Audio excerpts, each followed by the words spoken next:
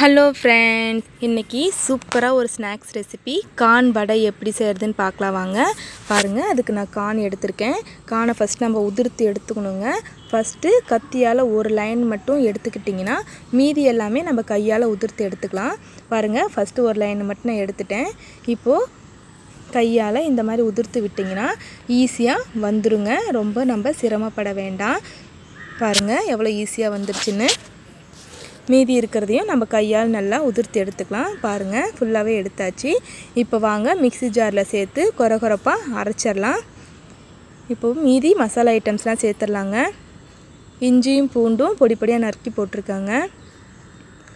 பச்சை மிளகாய் மூணு பொடியாக நறுக்குனது. கருவேப்பிலை தலை பொடியாக நறுக்குனது.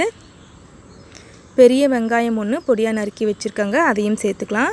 பெருங்காயம் ஒரு கால் ஸ்பூன். உப்பு ஒரு அரை ஸ்பூன் சேர்த்துக்கலாங்க. கூடவே கால் கப் கடலை மாவு கால் கப் அரிசி மாவு சேர்த்துக்கலாங்க. இப்போது கையால் நல்லா பெசை கொடுங்க. நல்லா கலந்து வரட்டுங்க. பாருங்கள் ரெடி ஆகிடுச்சு இப்போது நம்ம உருண்டை பிடிச்சிக்கலாம். நான் மீடியம் சைஸில் உருண்டை பிடிக்கிறேங்க. இது மாதிரி மீதி எல்லாமாவையும் நம்ம உருண்டை பிடிச்சிக்கலாம். பாருங்கள் ரெடியாக இருக்குது அடுப்பில் எண்ணெய் காஞ்சிட்ருக்குங்க. நம்ம இப்போது போட்டு எடுத்துடலாம். இந்த மாதிரி உள்ளங்கையில் வச்சு உள்ளங்கையால் ஒரு ப்ரெஸ் பண்ணிங்கன்னா போதும். அழகாக வந்துடும் அவ்வளோதான் ஆயிலில் போட்டு ஃப்ரை பண்ணி எடுத்துடலாம். அவ்வளோதாங்க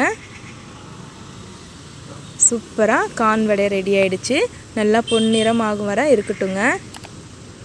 நல்லா கலரி கொடுங்க. பாருங்கள் நல்லா கோல்டன் ப்ரௌன் கலரில் வந்துருச்சு. இப்போ நம்ம எடுத்துடலாம். மீதி இருக்கிற எல்லாமே இதே மாதிரி பொறிச்சு எடுத்துக்கலாங்க. பாருங்கள் சூப்பராக கான் வடை ரெடி ஆகிடுச்சு நீங்களும் ஈவினிங் டைமில் இந்த மாதிரி செஞ்சு கொடுங்க. குழந்தைங்க விரும்பி சாப்பிடுவாங்க. வீடியோ பிடிச்சிருந்தா லைக் பண்ணுங்கள் சப்ஸ்கிரைப் பண்ணுங்கள் தேங்க்யூ